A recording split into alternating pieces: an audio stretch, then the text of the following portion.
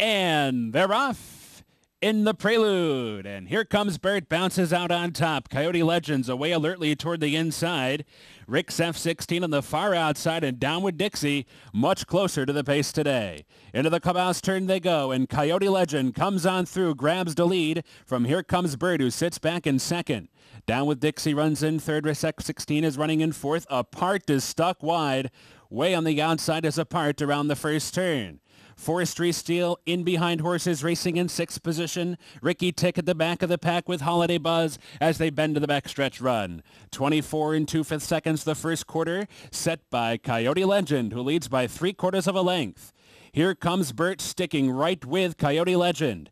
Down with Dixie, moving through an opening toward the inside, up into third. Rick's F-16 runs in fourth. Apart on the far outside is fifth. Forestry Steel is sixth. Holiday Buzz is down inside seventh. Ricky Tick is eighth, but eighth is only about three and a half lengths from the lead. The half and 48 and two to the far turn they go. Coyote Legend in front. Here comes Bert sticking right there. Here comes Apart, and here's Rick's F-16 with a big shot too.